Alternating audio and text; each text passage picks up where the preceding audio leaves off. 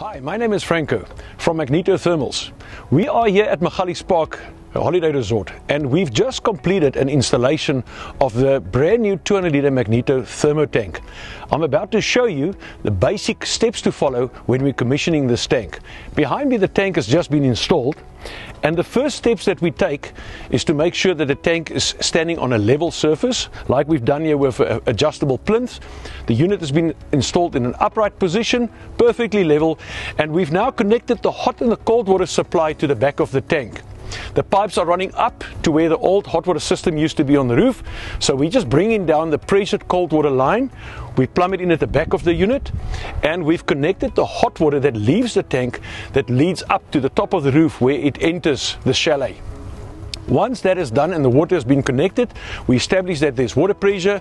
We can now gently open the valves which will supply pressure to the unit, which is the coil inside. So the coil will now flush the air out of the coil, pushes the air out on the inside of the unit. You can do that by means of opening the tap and let the volume of air escape where the, where the coil is now being filled with water. Once that has been done and the unit has been primed, you must remember that this tank is still not filled with the solution that it needs to be operated on. The tank is pre-charged in the factory with a glycol solution which is at the bottom of the tank. Upon installation, you first need to fill the tank before you switch the unit on. So the following procedures are needed.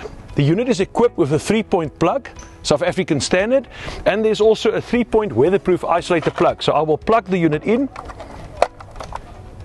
then I will switch the unit on, and immediately you'll hear the unit start filling itself. The unit is equipped with an auto filler valve on the inside, which is connected to the high pressure cold line coming in.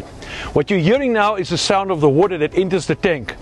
To indicate the filling process taking place, there's a red LED light on the screen in the front where it says water level indicator. The pilot light is now switched off. That means the tank is now filled to optimum level and the unit is ready to be activated. You activate the unit by tearing off the red sticker on the top and opening the door by compressing the button on the side. It's got a little latch on the inside. You open the door and that will reveal the control panel in the standby mode. You'll clearly see that there's also a small little picture of a lock on the screen, which is really just a child lock. To remove the child lock, you have to keep the press both arrows, up and down arrows in for a few seconds till you see the lock disappear. It's just disappeared now. And now all you need to do is everything is prior set in the factory. You just press the start button once to activate the machine. You'll hear the fan activate of the heat pump. You'll also see that the little picture of the sun comes up and it now give you also the temperature of the water that's inside the tank, which is now mixed with a glycol solution. Also on the first startup, because we have water temperatures below 35 degrees, the backup element will engage with the first session only, and that is indicated by these three little heat waves on the top right hand corner of the screen. Once this unit is activated, it will now start charging the water and the glycol solution up to temperature, and that should take in the region of about three to three and a half hours from startup because the tank has just been filled with cold water.